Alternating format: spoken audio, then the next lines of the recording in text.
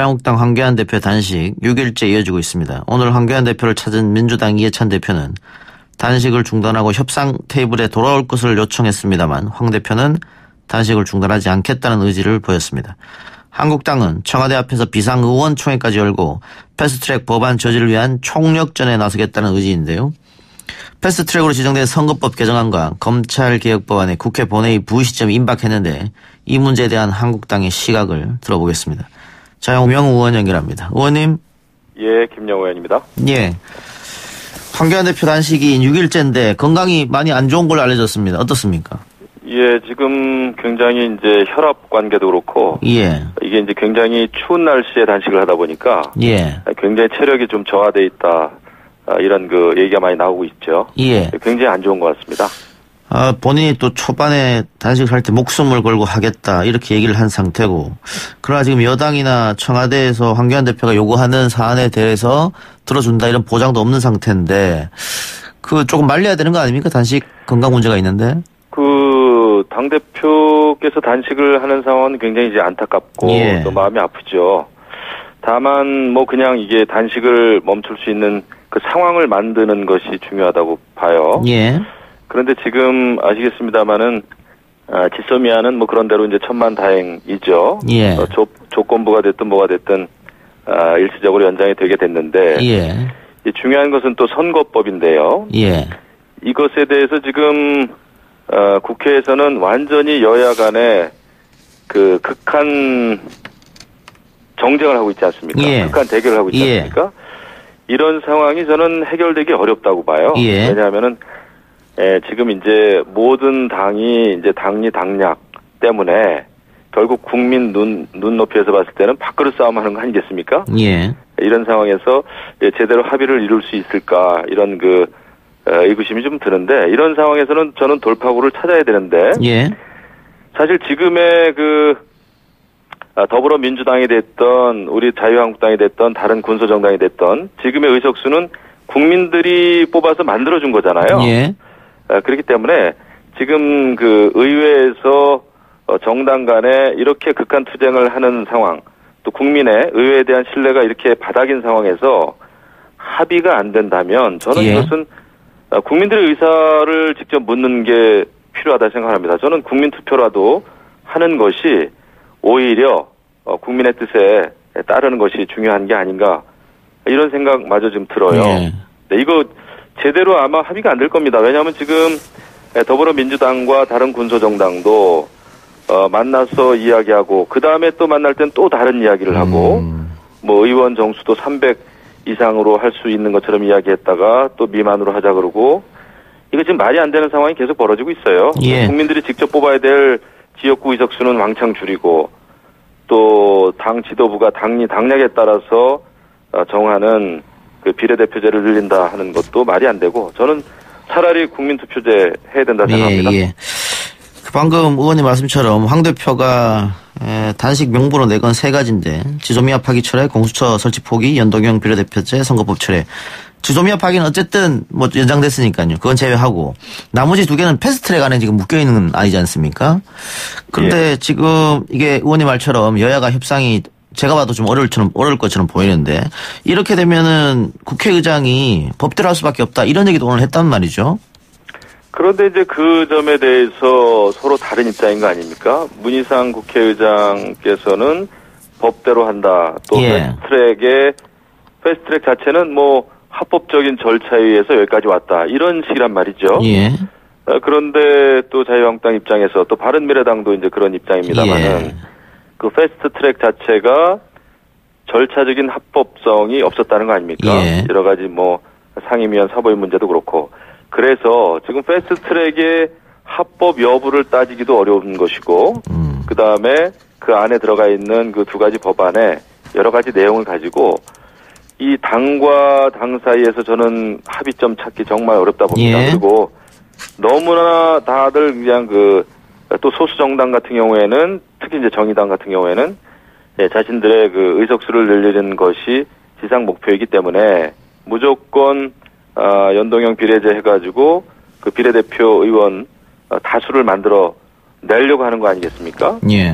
네, 그래서 이것은 그 합의되기가 어렵고 어, 이것은 그, 그냥 밥그릇 싸움이에요. 제가 볼 때는, 국민들이 볼 때. 이렇게 해가지고는, 에, 출구가 없다. 이런 생각을 하죠. 예, 출구 없기 때문에 지금 황교안 대표가 단식을 하고 있는 것일 테고 지금 패스트 트랙이 불법이다 이렇게 이야기하셨습니다만은 현실적으로 국회의장이 표결에 붙인다고 하면 또 그렇게 갈 수밖에 없는 노릇 아니겠어요? 그래서 그러면 이제 파국으로 가는 거죠. 예. 그럼 어떻게 자유한국당 지금 얘기 들어온 뭐 필리버스터 카드를 꺼낸다 이런 얘기도 있던데요. 지금 이제 모든 카드를 다 생각하겠죠. 예. 이제 나경원 원내대표의 경우에도 그렇고 지금 당 지도부 또 지도부뿐만 아니라 우리 전 어, 의원들은 어, 이것은 막아야 되겠다. 이 지금 그리고 지금 패스트트랙에 올려져 있는 선거제 자체 뭐 준연동형 비례자가 되겠습니다만은 어느 누구도 쉽게 이해할 수 있는 아주 복잡한 그런 선거제도입니다. 예.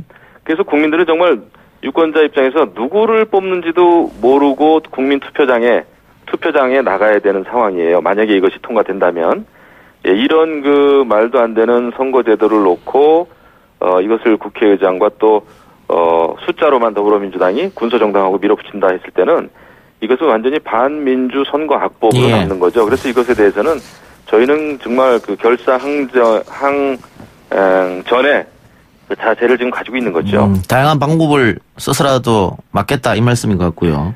그렇죠. 예. 그 지금 황교안 대표가 엿새째 단식을 하고 있습니다만은 최근 여론조사 결과를 보면 중도층은 오히려 빠졌다 이런 결과가 나왔고 오늘 김영삼 전 대통령 서거 4주기 행사가 열렸었는데 의원님도 그 자리에 참석하셨죠. 예. 여기서도 한국당에 대한 쓴소리가 많이 나왔다. 그 이런 현상은 왜 일어난다고 보십니까? 저는 그게 저희 당의 현 주소라고 봅니다. 예. 사실 저희 당이 에, 대한정당으로서 좀 더 개혁해야 되고 또 통합을 위해서 더 실질적인 그 노력을 해야죠. 그래서 예. 오늘 그 홍성걸 국민대 교수께서 여러 가지 이야기를 했는데 저는 뭐 100%다 공감합니다. 예. 아, 지금 우리 당이 아직 부족하고 국민들의 신뢰를 에, 받지 못하고 있습니다. 특히 에, 선거에서 이기기 위해서는 어, 우리 당을 지지하는 전통적인 지지자들뿐만 아니라 아, 일반적인 상식선에서 정말 소위 이 중도에 계신 많은 국민들이 있지 않습니까? 예. 그리고 지금 이 나라를 걱정하는 많은 국민들이 계신데 그 목소리를 에, 담아내지 않으면 내년 총선에서 우리가 좋은 성적 거두기 어렵다. 음. 이런 생각을 합니다. 그래서 저희는 정말 어, 지금 이대로의 토양에서는 그 열매를 맺기 어렵다고 봐요. 예. 그래서 그 정말 그 개혁을 제대로 해야 된다. 우리는 모든 걸 내려놓을, 내려놓을 그런 자세로 임해야 된다 생각을 하죠. 예. 오늘 그 자리에서도 비슷한 얘기가 나왔습니다만 쓴소리가 함- 쓴소리를 하면 당에서 내부 총질이다 이런 반발이 나오니까 문제가 있는 거 아니냐. 뭐 그런 지적도 있고 또 바른미래당하고 보수통합도 지금 굉장히 삐걱거리고 있는 것 같고요. 자, 자유한국당 갈기 조금 험난한 것처럼 보입니다. 예, 뭐 쉬운 길은 아니에요. 근데 예. 저는 좀 근본적으로 예. 우리 당이 근본적으로 바뀌기 위해서는 통합 문제만 해도 그렇습니다. 지금 어떤 바른 미래당의 소위 이제 유승민 의원 계하고의 통합만 이야기한다든지 이런 거는 아주 어 국부적인 통합이라고 생각합니다. 지금 우리가 해야 될 것은 국민 속에서의 통합이죠. 사실 10월 국민항쟁이 뜻하는 바는 이 나라 경제가 무너지고 외교 안보가 이렇게 근본적으로 흘린, 흔들리는 상황에서 나라 걱정을 하는 많은 분들이 계셔요 국민 속에 예. 그런 그 모든 세력과의 정말 그 대대적인 통합 그런 어떤 전체 우리의 어떤 그 그릇을 넓힐 수 있는 그런 국민 속에서의 대통합이 아니면 이것은 뭐 그냥 국회의원 몇 명 왔다 갔다 하면서 인재 영입하고 이런 식으로 해결될 문제가 아닙니다. 음. 우리가 근본적으로 예, 나라 걱정하는 모든 분들은 다 함께 한다는 자세를 가지고 우리는 기득권을 완전히 내려놓는 것이 필요하다. 그런 차원에서 이 발전적인 또 창조적인 파괴가 필요하다. 이제 그런 얘기죠. 예. 그 방금 말씀하신 것처럼 모든 기득권을 내려놓고 모든 세력이 통합한다. 그게 안 되면은 뭐 선거 연대 이런 것도 생각하고 계신 걸 거예요? 뭐 선거 연대 그러면 이제 상당히 좀 그 말 그대로 정치 공학적인 거 아닙니까? 예, 예. 저는 선거 연대로는 안 된다고 봅니다. 왜냐하면은 기본적으로 정당은 후보를 내는 게 맞아요. 음. 그 민- 민주주의 제도에서 그런데 그것을 예, 그냥 뭐 어, 의석수 몇 석 늘리겠다고 선거 연대 공천 어 후보를 내지 않을 지역과 내는 지역을 이렇게 따로 예, 예. 그런 식으로 하는 것은 저는 근본적으로 예, 국민들이 예. 원하는 그 방향이 아니라고 봅니다. 예. 그 선거공학적으로 질문을 드려서 죄송합니다만은 그래도 어쨌든 일려 다야구도로 만일 이대로 선거를 치르게 되면 TK 지역도 그렇고 수도권 지역도 그렇고 민주당이 굉장히 유리한 구도가 되지 않습니까? 그렇죠. 지금 구도상으로는 저희가 유리할 게 없습니다. 예. 이제 패스트 트랙 그 처리 과정에서도 보았듯이 지금 이제 제1 야당입니다만은 자유한국당을 배제한 채 에, 더불어민주당과 친여 군소 정당이 뭉치면 상당히 파괴력이 있겠죠. 그럼에도 불구하고 그럼에도 불구하고 지금 문재인 정권 문재인 정부가 예, 국민을 국민의 뜻을 무시한 채 경제 정책도 그렇고 외교안보 정책도 그렇고 너무 독주하고 있지 않습니까? 예. 그것도 잘못된 방향으로 예. 이런 거에 대해서 지금 국민들의 어떤 그반 아, 여당에 대한 반 문재인 정권에 대한 그 감정이 굉장히 들끓고 있습니다. 제- 제가 어, 지역을 많이 돌아다녀 보는데요. 예, 그, 그, 그 렇기 때문에 예, 문재인 그 정권과 여당이 그렇게 국민의 뜻을 어, 반하면서 일방적으로 할 수는 없는 것이다. 그러다가는 어, 또 심판받는다 이런 예. 생각을 좀 합니다.